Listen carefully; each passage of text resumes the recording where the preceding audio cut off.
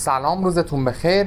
امیدوارم که حالتون خوب خوب باشه از سری ویدیوهای آموزش زبان انگلیسی. با کمک سریال امروز در خدمتتون هستیم با یک سریال بامزه سریال Big School قبل از اینکه سریال رو شروع کنیم من لینک سریال های قبلی رو بالای صفحه گذاشتم. اگر دوست داشتید روشون کلیک کنید و از اونها هم استفاده کنید. حالا با هم دیگه بریم سراغ سریال امروز.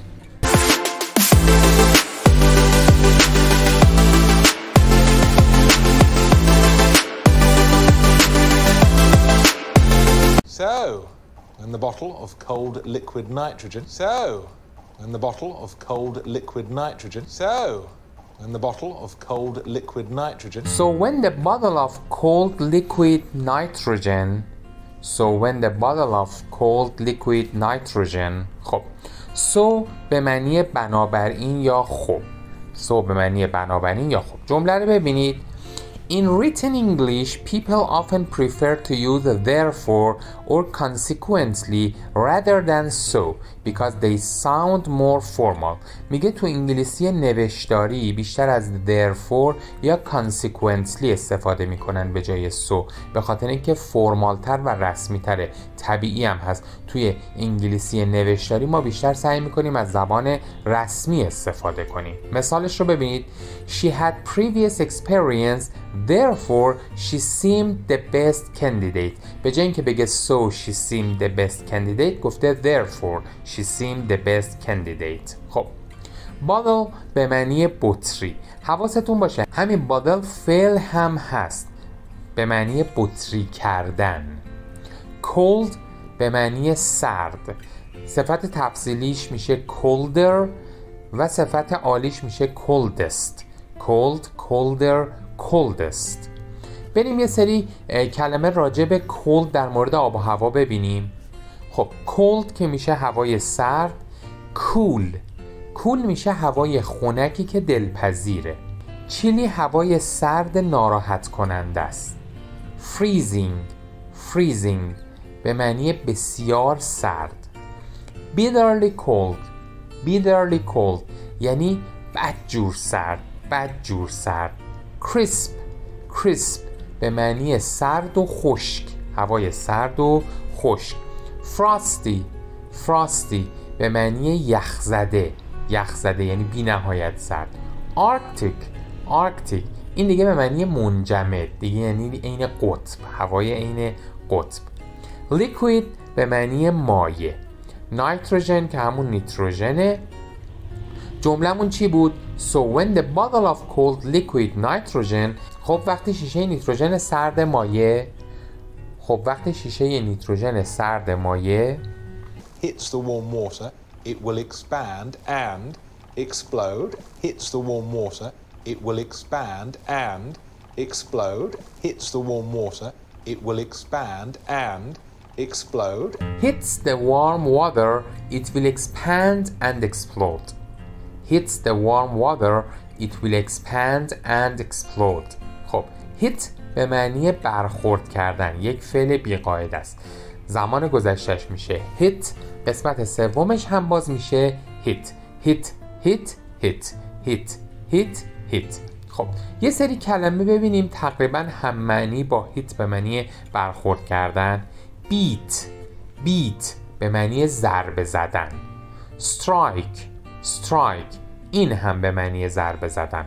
Punch. Punch. به معنی مشت زدن. Thump. Thump. به معنی ضربه زدن. Slap. Slap. به معنی چک زدن در گوشی زدن. Spank. Spank. ببخشید به معنی در کونی زدن در باسن زدن. Warm. به معنی گرم. یه متضاد داره. Cool. به معنی خنک. Will نشون دهنده آینده است. Expand یعنی منبسط شدن منبسط شدن. یه فعل با قاعده است. پس زمان گذشتهش میشه expanded. قسمت سومش هم میشه expanded. Expand expanded expanded. Expand expanded expanded. کلمه ببینیم ازش. خب expansion به معنی انبساط. پس expansion به معنی انبساط.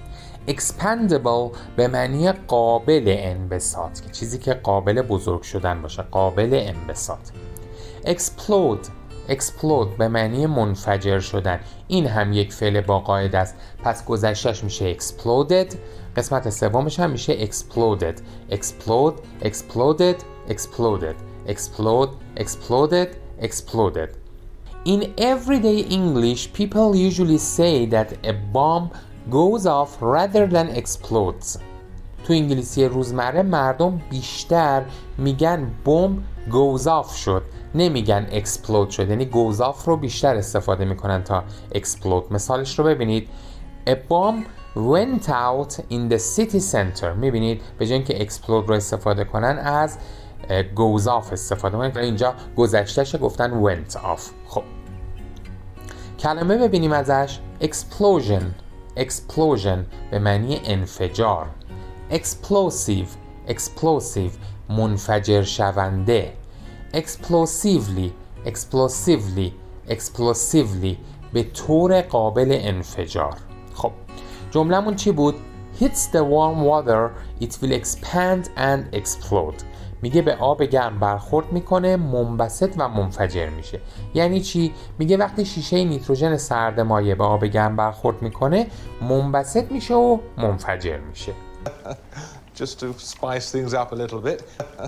Just to spice things up a little bit. Just to spice things up a little bit. Just to spice things up a little bit. Just to spice things up a little bit. خب just به معنی فقط. Spice up به معنی جذاب تر کردن. Spice up به معنی جذاب تر کردن. A little به معنی کمی. کمی. Bit به معنی ذره خب جملهمون چی بود just to spice just to spice things up a little bit یعنی فقط برای اینکه اوضاع رو یه خورده جالب ترش کنیم فقط برای اینکه اوضاع رو یه خورده جالب ترش کنیم پات. 1000 ping pong balls Pat. 1000 ping pong balls Pat. 1000 ping pong balls Pat 1000 ping pong balls Pat 1000 ping pong balls خب ping pong به معنی همون تنیس روی میزه. یه مترادف داره table tennis تیبل تنیس بال به معنی توپ. بال به معنی توپ. یه سری فعل با بال ببینیم. Throw a ball. Throw a ball یعنی پرت کردن توپ. Catch a ball. Catch a ball گرفتن توپ. Hit a ball. Hit a ball ضربه زدن به توپ. Kick a ball. Kick a ball یعنی شوت کردن توپ. Bounce a ball. A ball یعنی پرتاب کردن توپ ball get the ball گرفتن توپ ball miss a ball از دست دادن توپ یعنی نتونی بزنی یا نتونی بگیریش. خب جملهمون چی بود؟ Pat 1000 ping pong balls Pat هزار توپ پینگ پونگ داریم. Pat هزار توپ پینگ پونگ داریم. Cover your ears, everybody. Cover your ears, everybody. Cover your ears, everybody.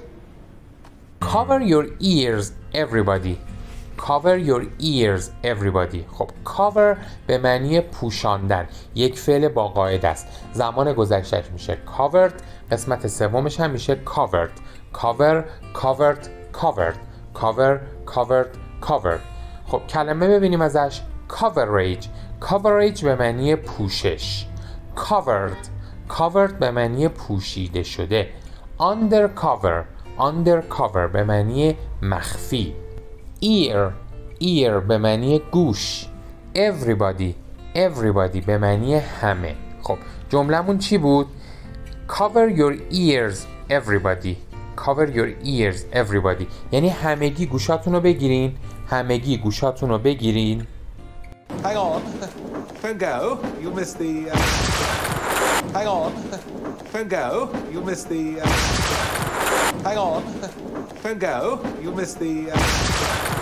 hang on don't go you'll miss the hang on don't go you'll miss the خب hang on بریتیشه به معنی سب کن وایسا مترادفش تو امریکن میشه hold on hold on خب go یک فعل به معنی رفتن یک فعل بیقاعده است زمان گذشتش میشه went قسمت سومش میشه gone go went gone go went gone miss به معنی از دست دادن یک فعل با قاعده است زمان گذشتش میشه missed قسمت سومش هم میشه missed miss missed missed miss missed missed جملهمون چی بود hang on don't go you'll miss the hang on don't go you'll miss the وایسین نرین چیزو از دست میدینا وایسین نرین چیزو از دست میدینا Good morning, everyone. Can I have your attention, please?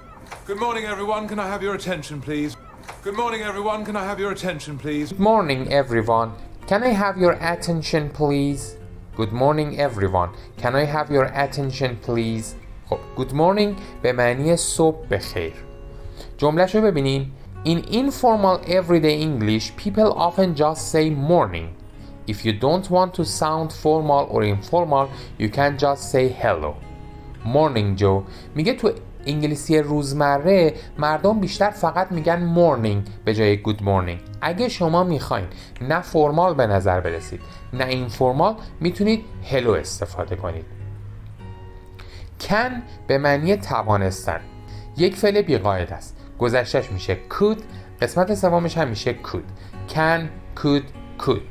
Can could could have به معنی داشتن یک فعل بیقاعده است زمان گذشتش میشه had قسمت سومش هم میشه had have had had have had had attention به معنی توجه attention به معنی توجه چند تا کلمه ببینیم pay attention pay attention توجه کردن concentrate concentrate تمرکز کردن keep your mind on something. یعنی ذهنت رو روی یه چیزی گذاشتن. بازم یعنی همون توجه کردن. Keep your eyes on something. چشم روی چیزی داشتن. چشم روی چیزی بر نداشتن. باز هم یعنی همون توجه کردن. Be engrossed in something. یعنی توجه رو کاملا معطوف چیزی کردن. Be absorbed in something. یعنی جذب یه چیزی شدن یعنی یه چیزی رو تحلیل کردن توجه کردن. Please هم به معنی لطفا. جملهمون چی بود؟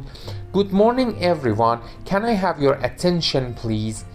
صبح بخیر همگی. میشه یه لحظه توجه کنید لطفا؟ صبح بخیر همگی. میشه یه لحظه توجه کنید لطفا؟ I have a very important announcement to make. Keith. I have a very important announcement to make. Keith. I have a very important announcement to make. Keith. I have a very important announcement to make I have a very important announcement to make خب very به معنی خیلی یه جمله خیلی مهم جلوش هست Some adjectives already mean very For example terrible very bad wonderful or hilarious very funny. میگه یه سری از صفت ها هستن که خودشون معنی very توشون هست. مثل terrible به معنی خیلی بد. یا wonderful به معنی خیلی خوب. یا hilarious به معنی خیلی جالب یا خیلی خندهدار. Don't use very with these adjectives. میگه حواستون باشه با این صفت ها دیگه ما very استفاده نمی کنیم Use really or absolutely instead میگه ما به جای اینکه از very با این صفت ها استفاده کنیم از really یا absolutely استفاده میکنیم مثلا میگیم it was a really terrible experience یا I feel absolutely great نمیگیم It was a very terrible experience این غلطه یا نمیگیم I feel very great این هم غلطه Important Important به معنی مهم کلمه ببینیم ازش Importance Importance اهمیت Unimportant Unimportant بی اهمیت Importantly Importantly به طور مهم حالا یه سری کلمه ببینیم که هم معنی important هستن تقریبا essential essential به معنی ضروری vital vital حیاتی crucial crucial حیاتی momentous momentous واجب paramount paramount مهمترین announcement به معنی خبر make یک فعل به معنی ساختن یک فعل بیقاعده است زمان گذشتش میشه made قسمت سومش هم میشه made make made made make made made. خب کلمه ببینیم هم معنی تقریبا باهاش. produce produce به معنی تولید کردن. create create به معنی خلق کردن. manufacture manufacture به معنی ساختن. form form به معنی ساختن. generate generate به معنی تولید کردن. جملهمون چی بود؟ I have a very important announcement to make. یعنی یه خبر خیلی مهم دارم که می‌خوام اعلام کنم. یه خبر خیلی مهم دارم که می‌خوام اعلام کنم. خب اینم از سریال امروز. امیدوارم که ازش لذت برده باشید و نکاتش رو خوب یاد بگیرید. نکات بسیار مهمی بود. مثل همیشه ازتون می‌خوام که اگر این ویدیو رو دوست داشتید لایک فراموشتون نشه برای ما کامنت بذارید و همچنین اگر کانال من رو تا الان سابسکرایب نکردید لطفا این کار انجام بدید. اون زنگوله بغلش رو هم بزنید. بسیار ممنونتون میشم. روز و روزگارتون خوش. خدا نگهدارتون.